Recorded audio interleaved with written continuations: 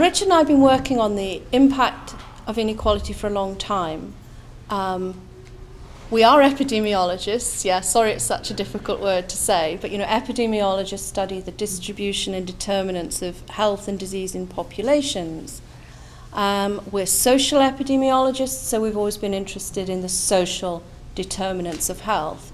And we both became interested in the impact of inequality on health quite a long time ago. One of us rather longer ago than the other. Um, Me, the 19, mid 1970s, I'm afraid. he was very much ahead of his time. Um, we worked on, on, on this in an academic way, you know, for a long time, publishing journal articles, you know, peer-reviewed journal articles, um, showing that income inequality was linked to health and some other problems. But the difficulty with, um, well, well, one of the issues with that kind of journal article is that nobody reads it, okay? Nobody ever reads those sorts of articles. And we felt that we were sitting on a large body of evidence that needed to be better known, that was important for policymakers and politicians to know. So we decided to write the spirit level together to try and get the research on inequality out into the public domain. And in a sense, it felt like my last attempt as I retired to get these issues onto the public agenda. I'd written about them several times before, um, but wasn't really read more uh, amongst people outside our own academic field. So we wrote the spirit level with a very um, um, sharp purpose. You know, we really wanted to reach a wider public. So we made lots of decisions about how we presented the research and the graphs. We tried to write in an accessible way. We filled the book with stories and cartoons as well as graphs, knowing that most people don't love a graph.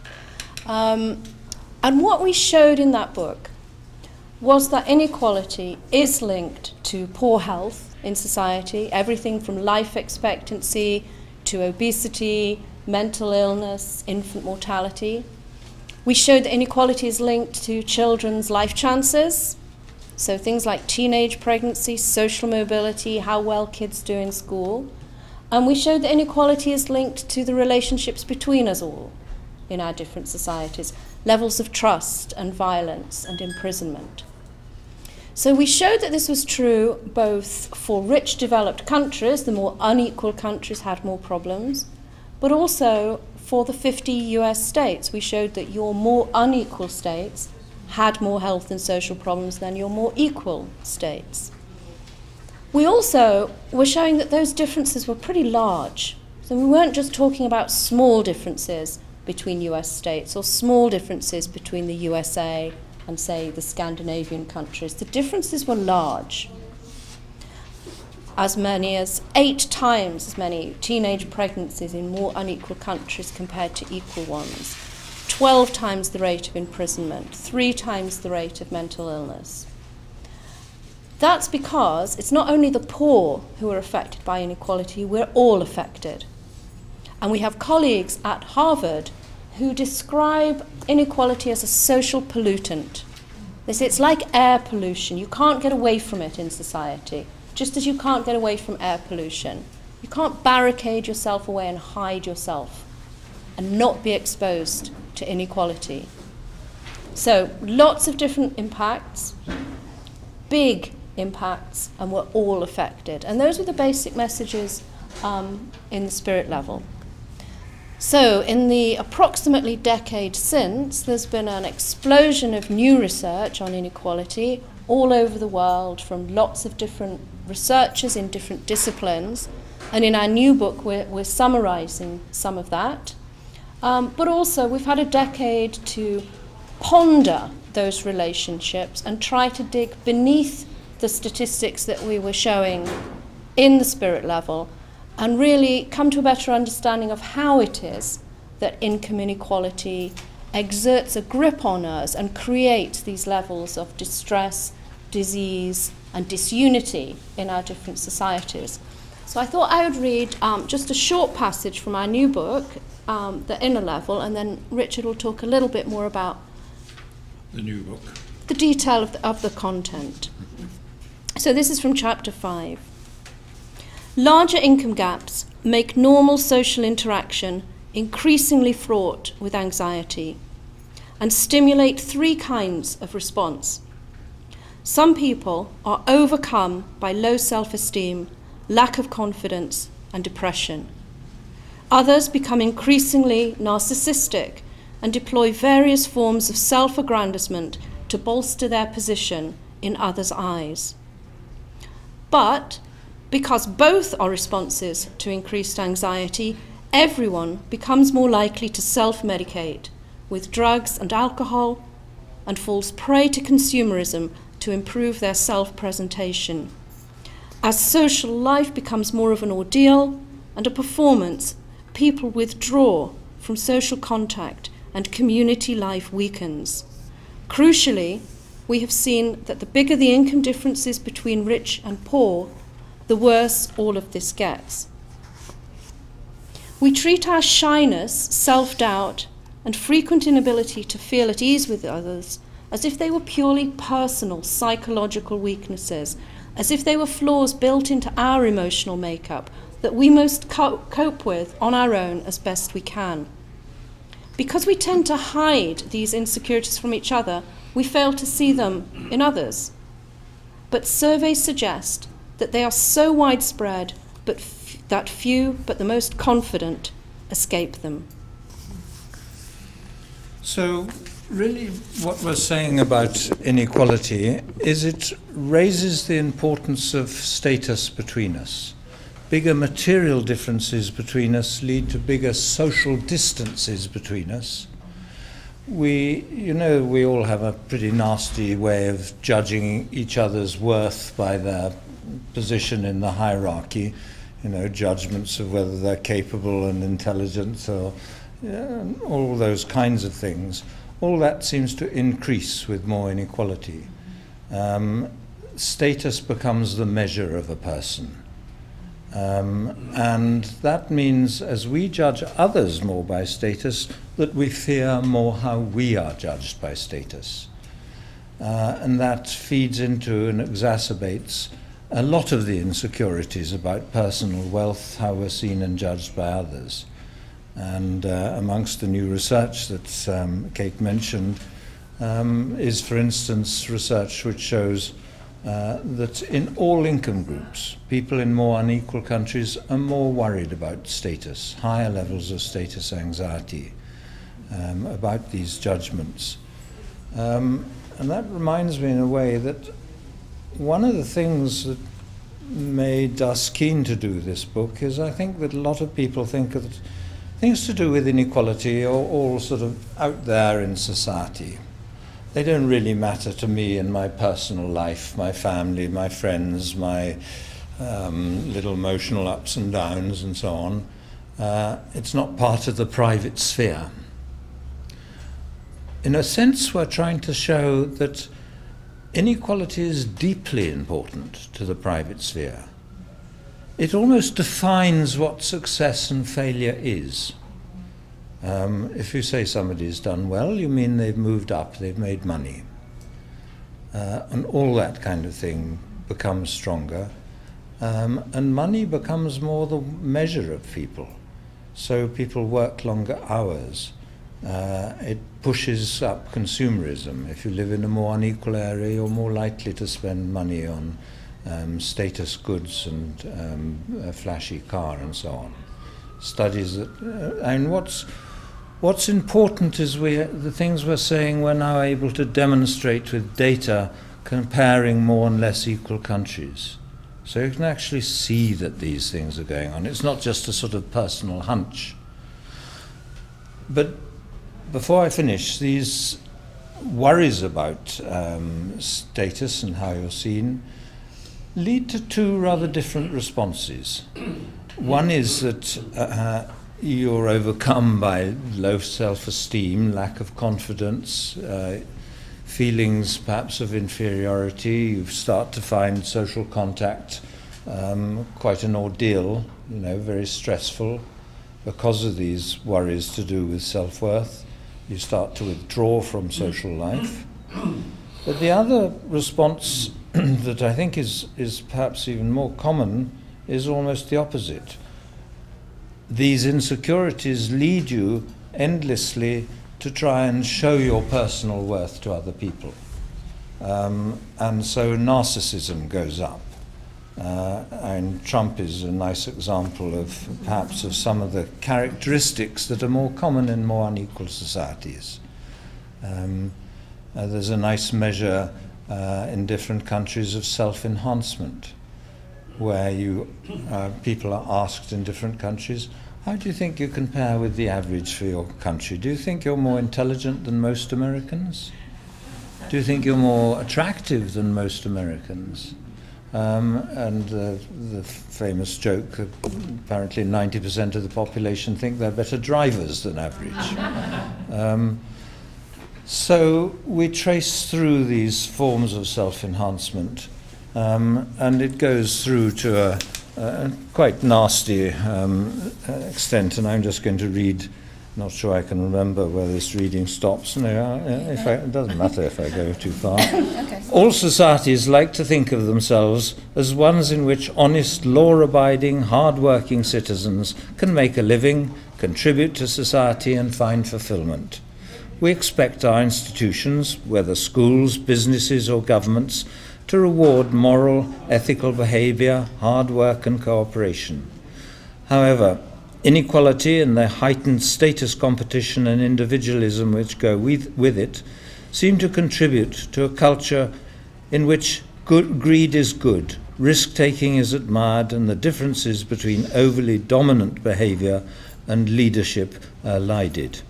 In such a climate, it's perhaps no wonder uh, that individuals with a personality disorder characterized by lying, manipulation, deceit, egocentricity, and callousness can often be found at the very top of, the modern, of modern corporate structures. Greater inequality not only causes uh, psychopathic tendencies to manifest in more people, it provides the cutthroat environment in which those tendencies come to be seen as admirable and valuable and competitive, competitiveness as more important than cooperation. I think that may be where we thought we'd end. Uh, but that's just, in a way, that's just the first section of the book. We go on to look at the uh, the kind of justifications uh, that are used to sustain inequality. The idea that the social pyramid uh, is uh, a pyramid of uh, in, in innate differences in ability.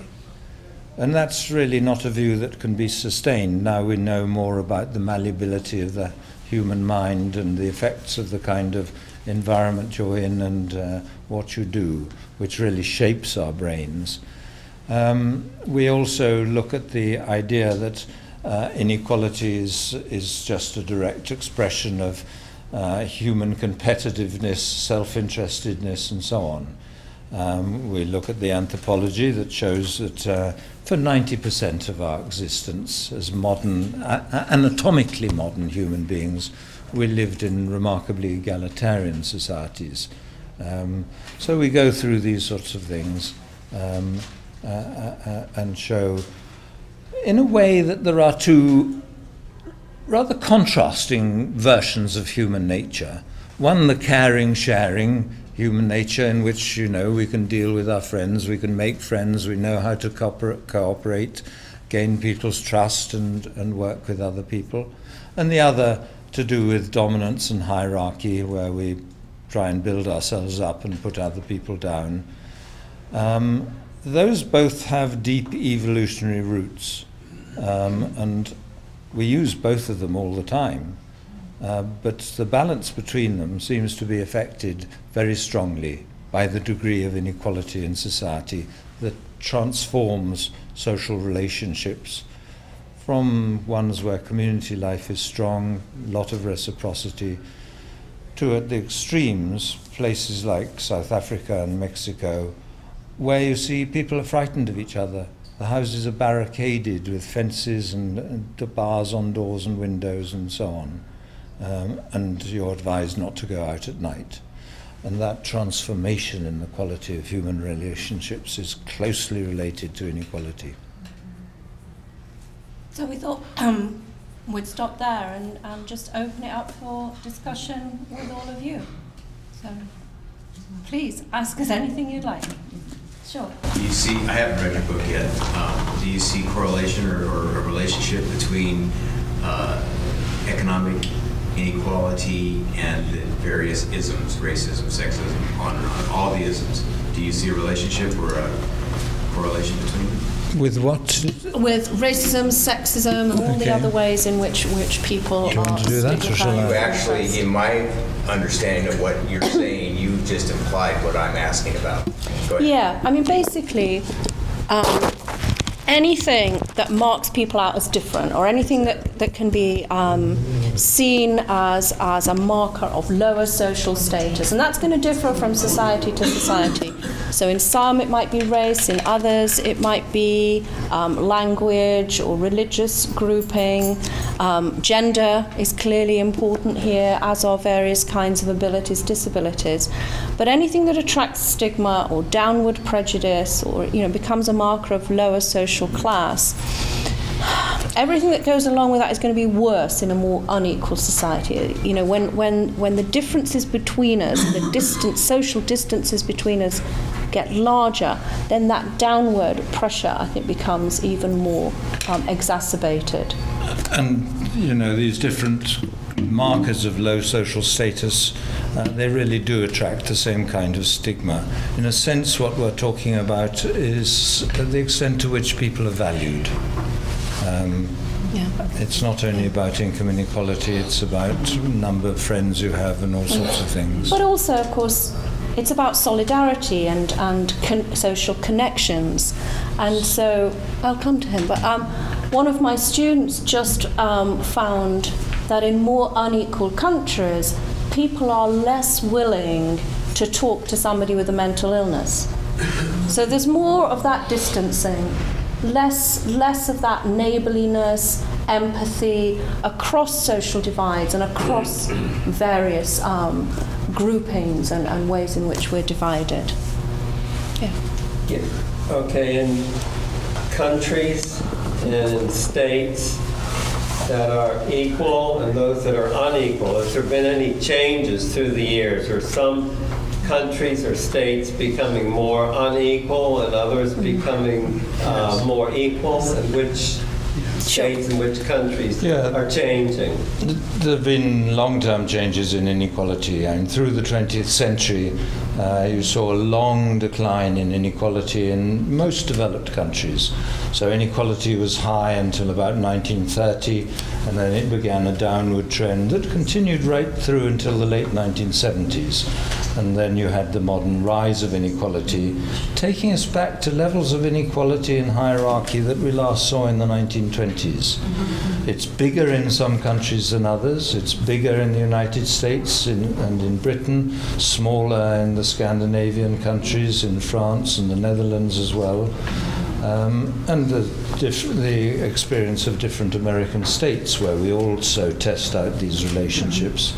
Um, there's, a, there's a bit of variation there. Can I come in on that? Um, couple of a couple of sort of interesting examples of that. One is the contrast between Japan and the United States.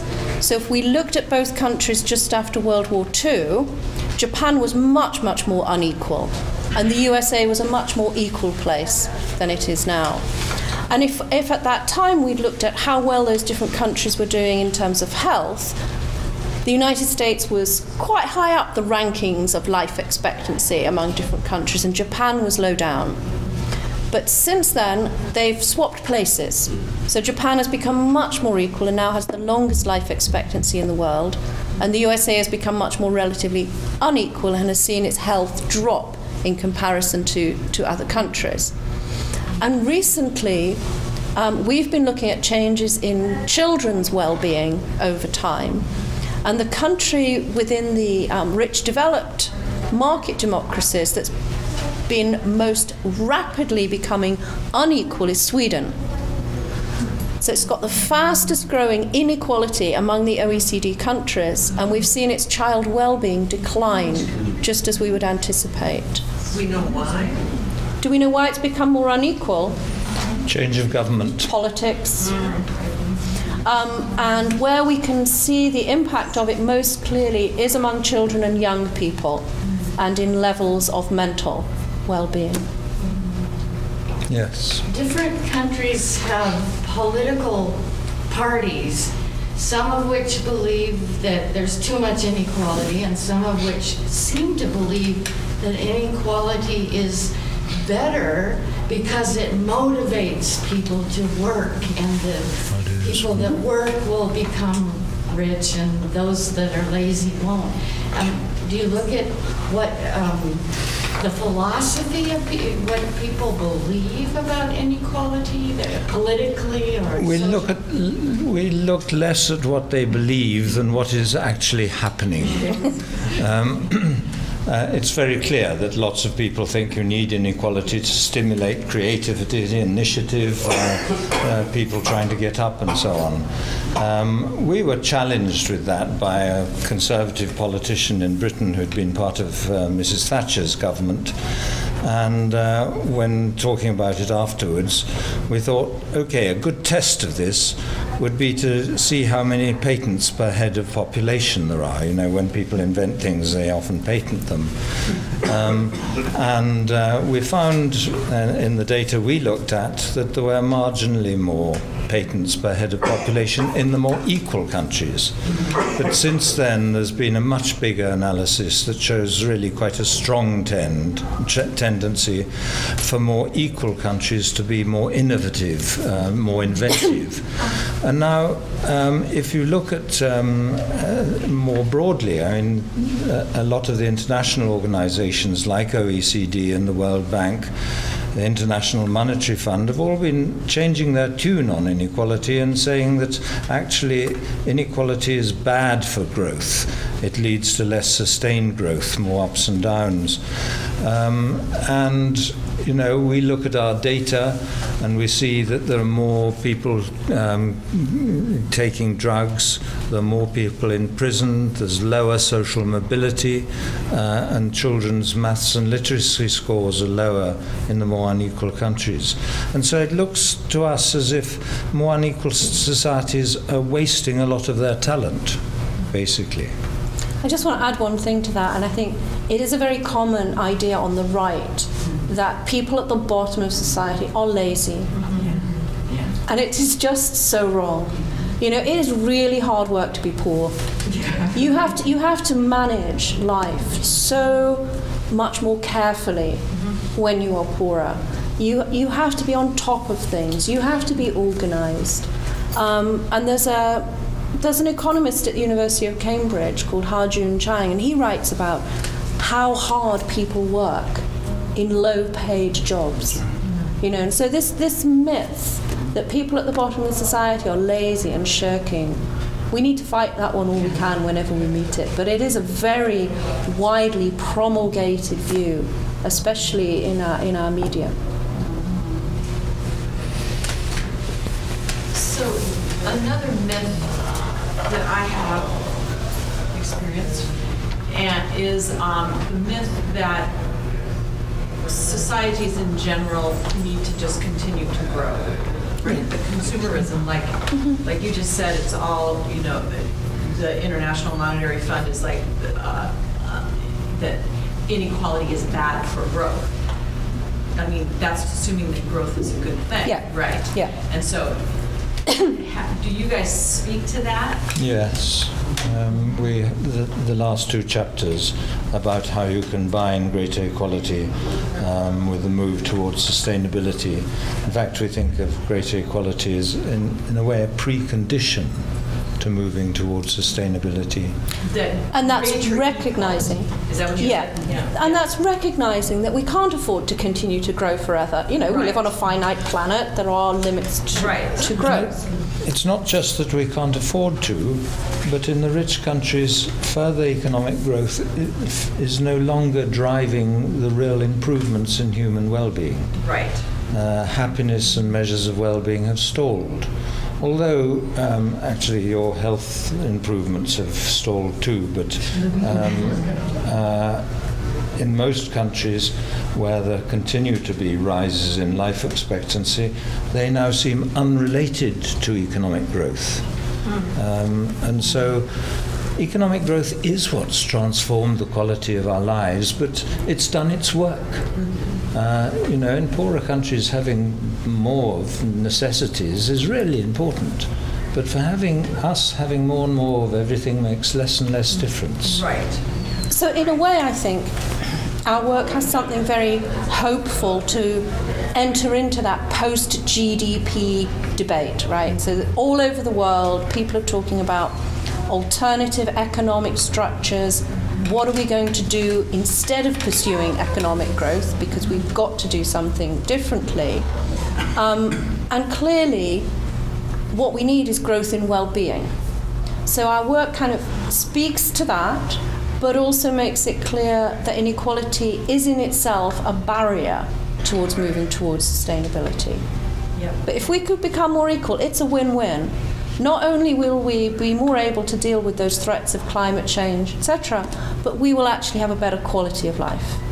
And you do hear that there's conversations about this around the mm-hmm. world? Absolutely, uh-huh. yes. Lots of conversations. So the challenge at the moment is joining them all up. Mm-hmm. Right, so there are Nobel Prize winning economists working on this, there are um, environmental activist groups, there are people concerned about global health. We just need to get all of those movements and all of those groupings working, working together in a unified way. Not easy, but possible. So I'm wondering if you're familiar with a local uh, self-described plutocrat by the name of Nick Hanauer.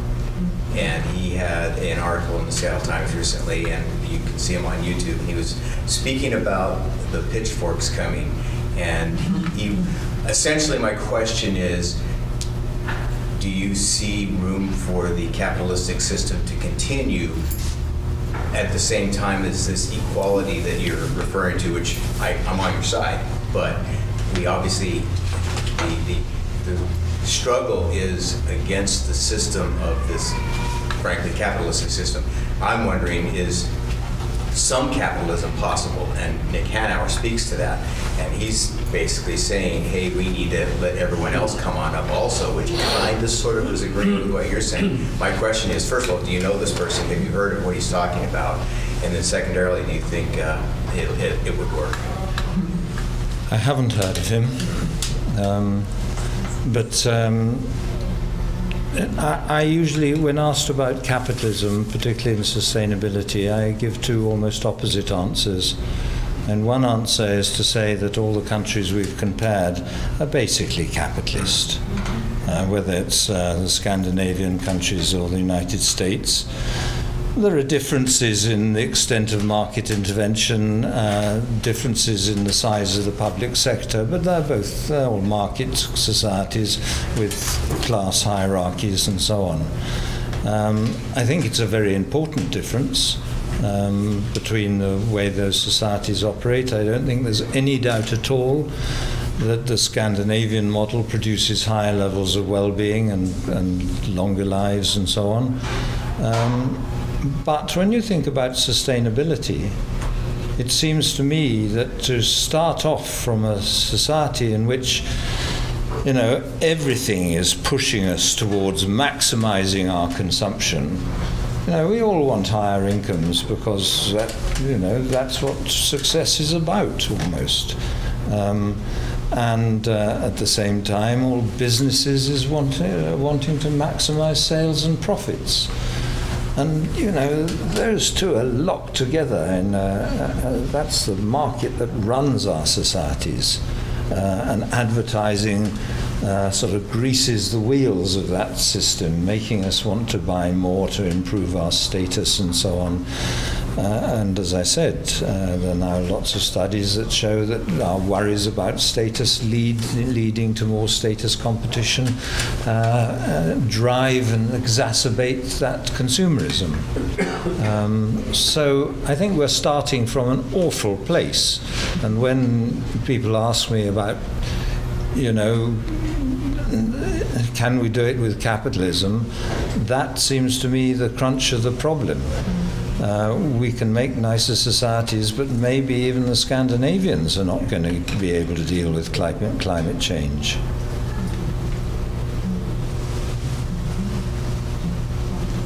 I'm curious about the role of um, institutions that, especially those that serve children and young people, in terms of uh, my one of my theories for the last 10 or more years since I became aware of your work was that um, the major reason um, for the level of inequality in our county, which is the biggest, as I'm sure you know, in the entire nation, is because we have the highest percentage of private school enrolled kids here in this area. And that the society that I grew up in, in this very same city, was radically different than what children are experiencing now when we didn't even know the names of the private schools. There was no question that we would not go to public schools, and it was less than 5%. Today, it's in the high teens, I believe, of private school enrolled children, which is the highest of any city in the entire nation. Mm, sure. I'm I'm curious about that. Yeah. That's right, we produce inequality very effectively. Yeah. Yes. Yeah. Reproduce. So educational systems can clearly be an engine that um, perpetuates, entrenches, and reinforces inequality. But educational systems can also be systems that help to level Yes. the playing field. You know, obviously depends very much on on how they're structured. Um, I, I think our society, as well as yours, you know, the elites at the top are dominated by the privately educated. Um, and I think we expect too much of our schools as well if we expect them to overcome all the effects of inequality that are not being addressed elsewhere. So not only do we sort of um, have this two-tier or, or um, inequality generating system, but then for our teachers who are trying to do their best within the public school system, they're fighting a losing battle. It's too much to overcome. Um, other countries do do it differently.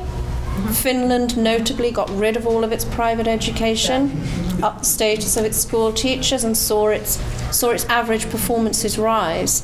Sweden, which I mentioned before, is seeing a decline in its child well-being. Um, has also been reforming its education system in a negative way. And I saw a report come out, I think it was in it was 2016 from the OECD, a report on Sweden's education system. And it was the most sort of hard hitting, um, finger wagging report I've ever seen from the OECD. It basically said Sweden, stop doing this. You know, your children are suffering, your educational performance is declining because of what you've done to your school system, allowing um, you know, you know, more segregation, more elitism. So I mean, I think I think your point is Yeah, is well made. And I, ev- I think everyone knows that home background is such a strong determinant of educational success. Um, and the performance of schools seems so closely related to the poverty or wealth of the catchment area. Um, and the rise in inequalities since around 1980 uh, internationally was not a change in educational systems. So I think people often hope that it, education reform can deal with inequality, but it wasn't what created the modern rise of inequality. Question at the back. I wanted to ask if anybody has been doing research looking at the rate of deunionization. Uh-huh. And because, of course, unions are one way in which solidarity is expressed and often attacked, certainly in this country, um, and have been in decline since the 70s. And we also have seen the, the rise in inequality going up in that same at, at the same time as, as the de- deunionization. So, and I, I just wondered if anybody's loo- looking at that particularly, yes. in there. Good. Do you want to? Well, th- we've seen for at least half a dozen countries uh, the graph of declining inequalities, as I said, from sometime in the 1930s going right through till the late 1970s and then the modern rise of inequality. Uh, the graphs I'm talking about show also the proportion of the population in the working population in trade unions, and it's exactly the opposite. And so we think that long-term decline and then rise of inequality uh, is about the strength of the whole labour movement, uh, probably the fear of communism, the strength of social democratic parties, the strength of the what we sometimes call the countervailing voice in the media. People um, included in these chat shows on television and writing columns in the newspapers who have another idea of how society can be better for all of us, um, and ideally people who are backed up by research departments, as trade union leaders uh, often are. Actually, in the US, the labor reporters basically got rid of from all the major newspapers at least two decades ago. So that hasn't exactly helped get um, any kind of media coverage of labor. That's right. I think that's right. I mean, in, in the UK, we are seeing a bit of a resurgence um, in union membership, and, and in particular, I think what what has struck me are unions trying to reach out to workers in very precarious sectors now um, and encourage them to unionise so that they can um, fight fight for rights which they don't have. Fast food workers, um, care workers, catering, those industries. I was invited recently to speak in Stockholm um, by a trade union organisation, and uh, afterwards I was taken to a nice restaurant, and I was astonished that uh, all the restaurant staff were uni- unionised. Not something you'd find in Britain. You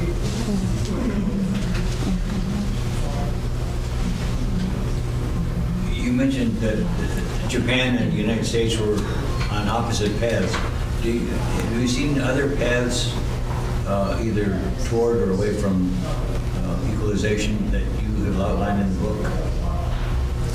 Sorry, I Yeah, so so didn't catch the trajectories that different countries are following. I mean, it's really sad actually if you look over the over the last sort of century. Most countries followed the same pattern as, as us. You know, they became more equal through the 20th century, and then they followed the neoliberal ideology and all became much more unequal again. There are some places that buck the trend a bit. Um, countries in Latin America are becoming more equal more rapidly than most other regions of the world, although I'm that's grinding to a halt in some of them and starting to reverse in, in, in some of them. Um, trends aren't great everywhere. You know, the most that we seem to be seeing are countries sort of managing to hold the line But somewhat. I think why it's worth fighting these battles at an ideological level is that it does look as if uh, the change in inequality is a change in international ideology. And it's very interesting that you can see these different ideological patterns sweeping the world. I mean, the, the 1960s was a radical decade everywhere, not just here. Uh, the 1940, the 1848 revolutions sprung up on different continents. Um, and it, it's hard to understand quite how it is these, these international ideological trends sweep the world. But it's one of the few things that makes me feel maybe it is worth going on fighting it in terms of arguments, data, statistics. You know, often I feel actually the only thing that makes any difference is a riot. Do you find New Zealand hopeful? Do I find New Zealand. Hopeful. Yes, at the moment, right? So, um, when we were doing our analysis in our previous book, New Zealand's one of the more unequal of the rich developed countries. Um, now they've got a young, dynamic female prime minister who takes inequality really seriously. So I think, yes, I feel hopeful about New Zealand.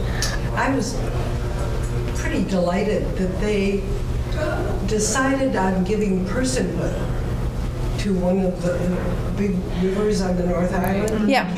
Yeah. Yeah. But it seemed so appropriate. Yeah. We give personhood to. Sure, to corporations. Why not a river? To a river. Yeah, yeah. And I think I think another thing that that we have personally noted about New Zealand, we were invited to give a series of lectures in New Zealand, and they have deep ethnic divisions and inequalities in New Zealand, but they're working pretty hard to try and overcome them, and there is certainly a greater climate of respect for their ethnic minorities than you find, say, in Australia with respect to the Aboriginal population there and in other places. And so, at any public meeting, um, a Maori greeting will be given as, as well as one in English. And th- yeah, deep, deep divisions and inequalities to overcome, but very much a sense that New Zealand's moving perhaps in the right direction at the moment. Um, I don't know that I have a question, maybe it's just like I need to just say this because there's other people here that will. Say it loudly. Say it loudly. I said, I don't really have a question, but when you're saying that what gives you hope is, you know, to keep this focus on, on changing international ideology, and then you jokingly say sometimes I feel like the only thing that will make a difference is a riot. Like, I'm like, I can sit right next to you in your tent in the belief of that. Um, but the, it's like, I, I would imagine you guys speak to this because you're speaking to it now. And that is, is like these changes have to occur in each person's heart. You know, I, I'm not a parent, and yet I work with people all day long that, that are parents. And there's this, there's this innate desire that parents have for their kids, right? Like they want their kids to have a better life than they have.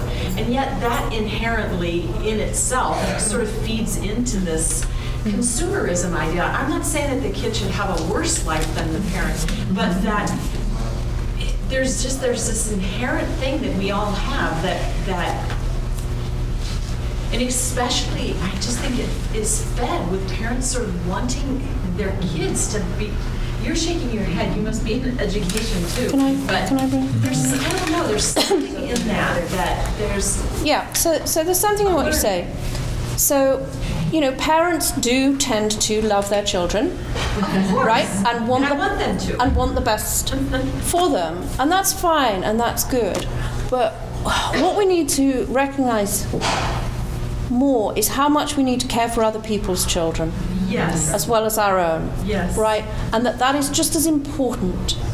And so that means that sure you'll be doing your best for your kids, and um, and maybe you can afford to buy them things that other parents can't. But that doesn't mean you shouldn't be voting for the parties that will do the best for everybody else's children.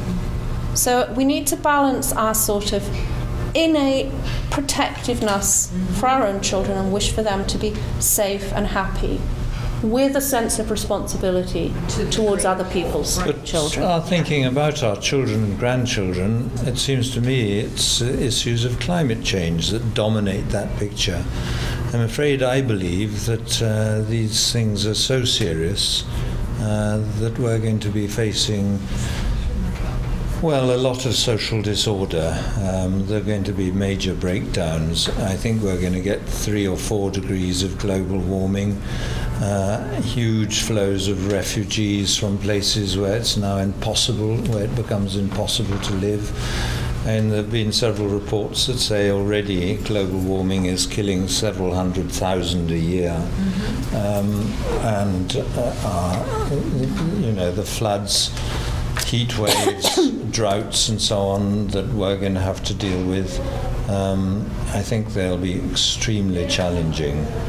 Um, and so, if we're thinking about our own children, it's not thinking about consumerism and stuff that's the point, it's thinking about how we deal with climate change.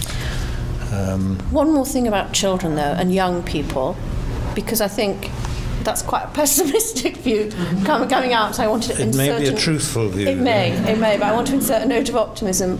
Um, and what makes me optimistic are our young people, actually. So we look at the voting patterns and the ideologies and the, um, the thoughts among our young people.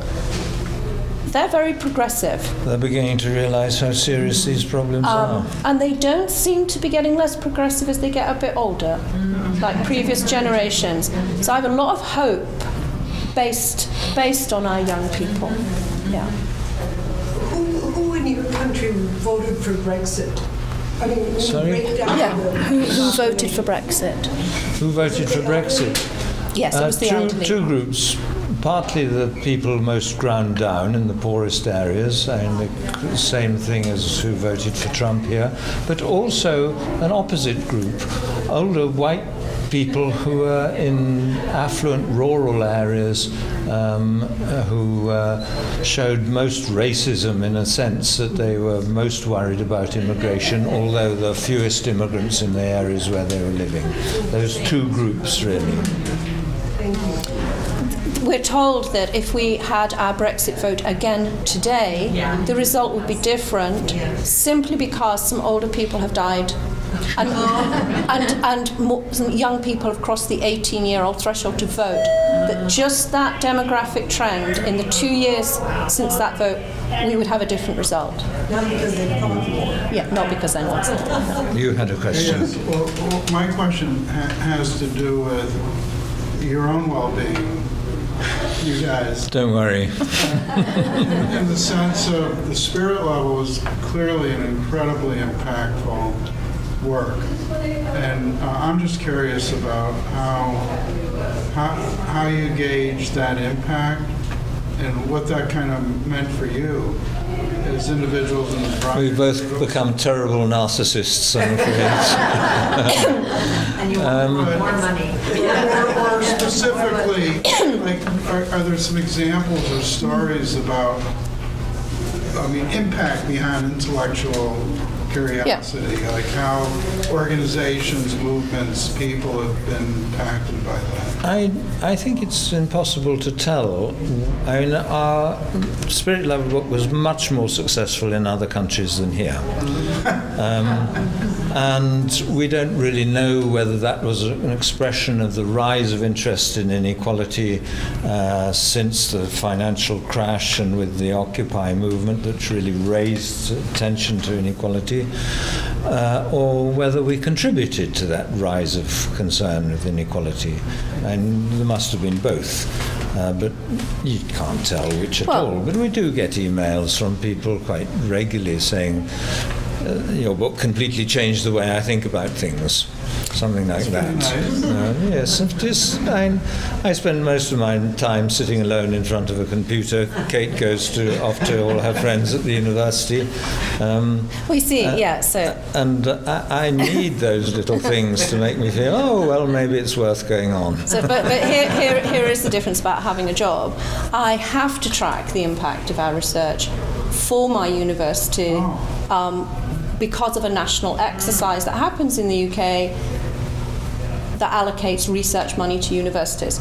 We have to track the impact of the research that we do. So I do spend quite a lot of time trying to figure out if, if our work has had an impact. And it's not enough to just say it has.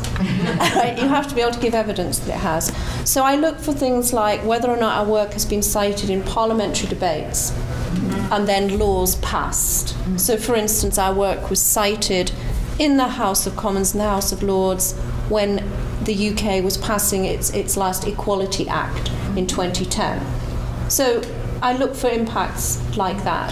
Changes in the public discourse, um, citations in policy documents, you know, all of those sorts of things. So it is It's been cited in the Canadian Parliament and the New Zealand Parliament as well, I think. Yeah, and so um, our work's had an influence on organisations like the OECD, um, like the European Union. Um, we campaigned to have equality reduction as one of the goals within the United Nations Sustainable Development Goals, and it is. And Richard was one of two experts asked to review those targets. So, so we, we do work to kind of track Talk those about impacts. this, your sustainable equality report. Well, that's just an EU commission. Never mind. How many languages was, was Spirit Level? Spirit Level's been published in 26 languages. But that's influence too. And um, this this one so far in eight. Um, But it's only been out It's for only been out. a month here, Yeah. and uh, yeah. But the personal toll, or the, the, the personal impact, has also been profound. And I think for Richard, it's been mostly positive. Um, he'd been, you know, Richard's been working on these issues for a long time and now has, has traction and people are listening and he's able to communicate his ideas and his deep thinking. And so, really, I think that's, that's been a wonderful thing at this point in his career to be able to have that platform and to be able to, to be heard. yes, normally retirement is the beginning of a long, slow decline. With me, it's been I have found it much more stressful than Richard, I think. Um, in part, when our work was criticised, I, I panicked, had anxiety and panic attacks about had I got the data wrong, you know, had I made a mistake. I found, I found that exposure really, really worrying. I don't like it when there are internet trolls saying horrible things about me. Um, I don't like that. I find it. I find public speaking excruciatingly stressful. So right now I'm I'm not the happiest to campus, sitting here with like smile on my face. So, so I, I find it much much harder than Richard did. Um, but we, you know, we're in it together, so that helps, doesn't I'd it? I've had decades of uh, public criticism Yes, he's before used to it. Kate joined me. I, I never had any of that until I started hanging out with him. The kiss of death.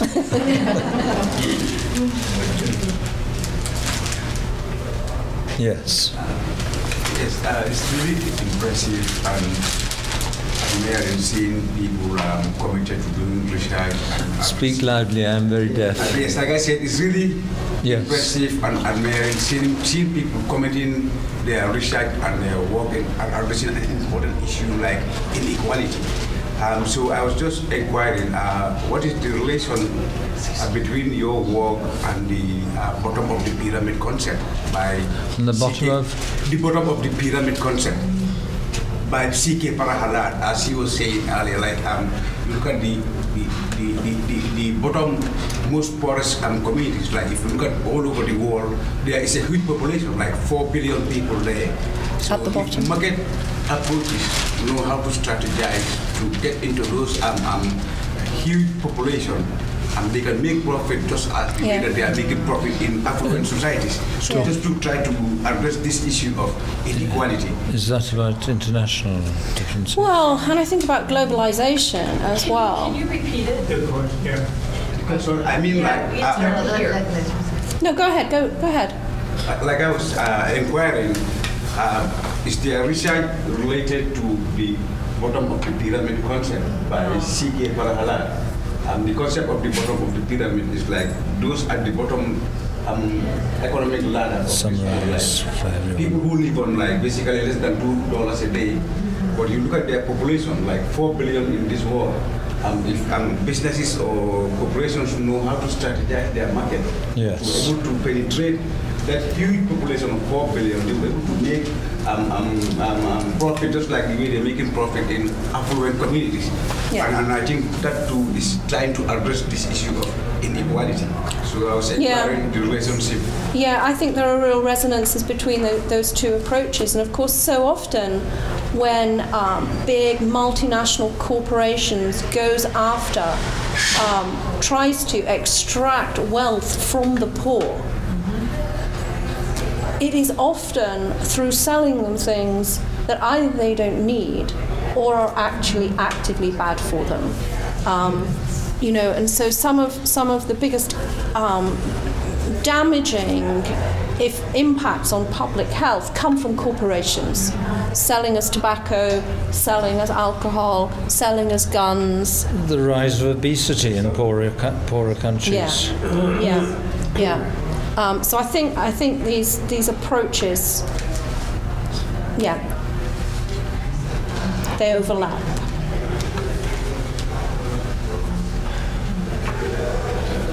Uh, Do you respond in the new book to some of the criticism in the previous, in the um, previous book? For example, I saw one criti- criticism that America is such an outlier that if you removed America, Oh, sure.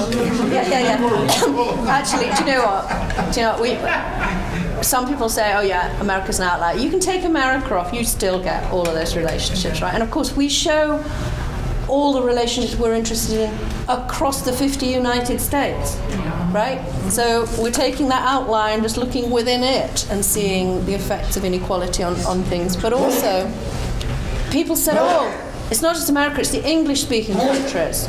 Yeah. There's something weird about them. Take them away and it goes away. That's not true either. You can take all the English speaking countries off and you've still got a relationship. And then some people go, it's the Scandinavian countries. There's something weird about them. So, with our index of health and social problems, we removed the English speaking countries and the Scandinavian countries and Japan.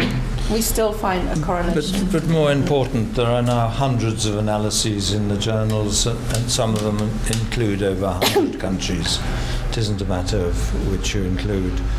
Um, but we wrote an additional chapter uh, answering the criticisms of that kind. Um, it was published in the English paperback uh, edition. I don't know whether it's in the American uh, edition. It's possible it is. Um, uh, so you can see whether there's a Yeah. chapter answering critics. Um, But also, the Equality website has some of our replies to crit- the Equality Trust website has some of our But replies to basically, critics. the world has moved on, right? And when this book came out and reviewers were, were looking at it in the UK, nobody's criticising the science anymore. I think the world has moved on, everybody accepts that inequality is damaging. What they said this time was, we're not quite sure that we like their solutions. To which I think we say, that's fine. You know, come up, come up with your own. Everybody's solutions are as valid as ours. Let's have that conversation now. Yeah. Should we stop there? Just wanted to give um, anyone who still wants to purchase a book a chance. Um, this is going to be the last call to go Okay. downstairs to one of the registers and make the purchase. And I think it's probably a good note to end on as well. Yeah. Thanks very much. Thank you.